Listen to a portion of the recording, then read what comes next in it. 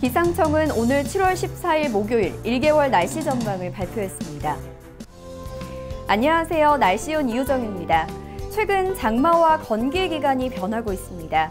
이전까지 우리나라는 장마 기간과 건기 기간이 뚜렷했고 장마인 1차 우기와 가을 장마인 2차 우기로 나뉘어 두 번의 피크 강수 패턴이 있었는데요.